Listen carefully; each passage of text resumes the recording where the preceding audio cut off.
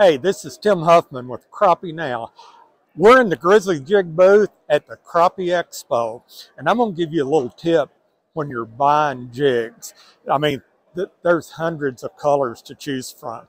But one thing that's critical, you need a light color, medium color, and a dark color.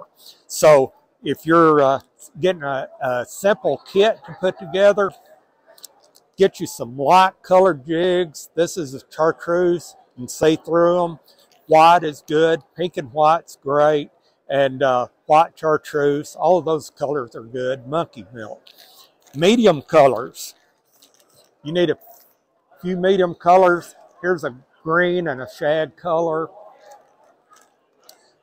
This is a real light I don't know, it's pink or red with chartreuse. Another good medium color, works in a lot of places. You gotta have the dark colors. In stained waters, uh, you know, Mississippi, this is a good color. Truman Lake, Junebug and chartreuse is good.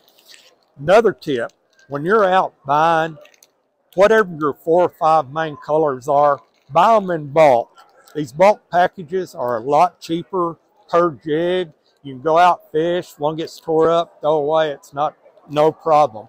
Listen, again, we're here at Grizzly Jigs. Get out here, get you some.